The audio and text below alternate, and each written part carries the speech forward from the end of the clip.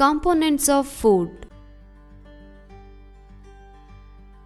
A meal could consist of chapati, dal, and brinjal curry.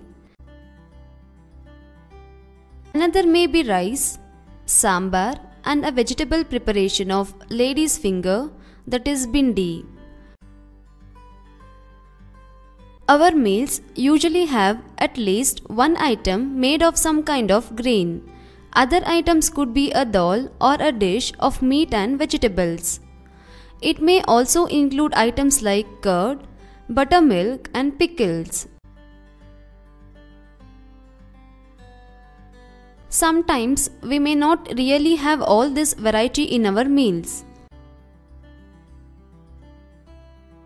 If we are traveling, we may eat whatever is available on the way.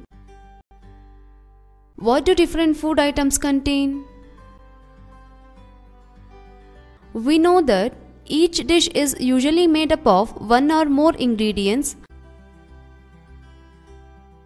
which we get from plants or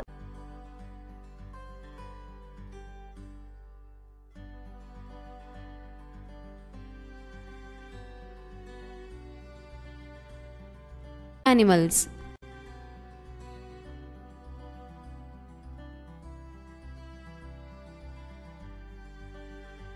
These ingredients contain some components that are needed by our body. These components are called nutrients. Test for starch. Take a small quantity of food item or a raw ingredient. Put 2 to 3 drops of dilute iodine solution on it. Observe if there is any change in the color of the food item. Did it turn blue black?